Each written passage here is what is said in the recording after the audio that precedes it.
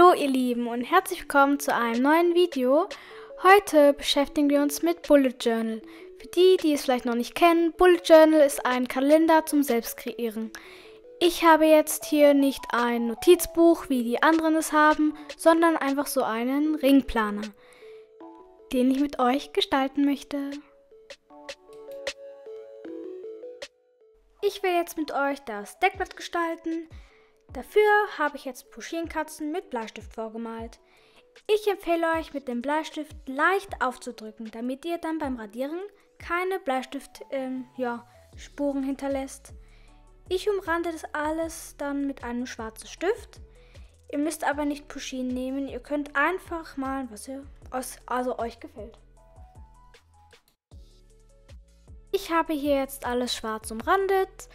Äh, ja, und die Katzen werde ich jetzt grau ausmalen, weil die wirklich, also die Puschinkatzen grau sind. Das Horn werde ich in Pastelltönen machen. Dann mache ich noch so einen Schriftüberzug und dann noch verschiedene ähm, Pastellpunkte. Tada!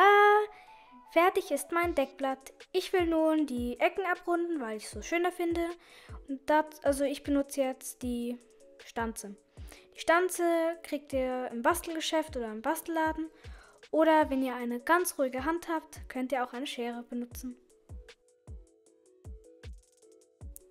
Nun sind die Ecken abgerundet und ich benutze jetzt einfach ein leeres äh, Ordnerblatt, das schon vorgelocht war in meinem Bullet Journal. Ich benutze es als Vorlage, damit ich weiß, wo ich mit der Lochzange lochen muss. Ich loche das jetzt alles. Äh, die Zange findet ihr im Bastelgeschäft.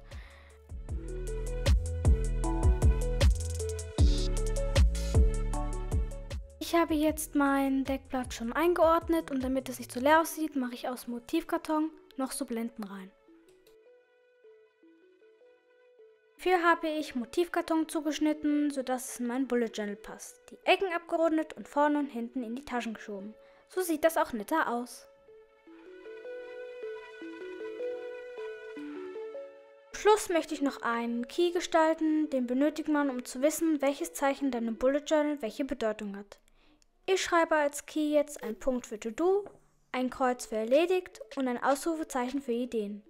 Das mache ich noch mit verschiedenen Farbmarkierungen für verschiedene Bereiche, wie zum Beispiel Schule. Nun ist meine Keykarte fertig, die Ecken abgerundet und nun befestige ich jetzt das mit einer Büroklammer an meiner Blende.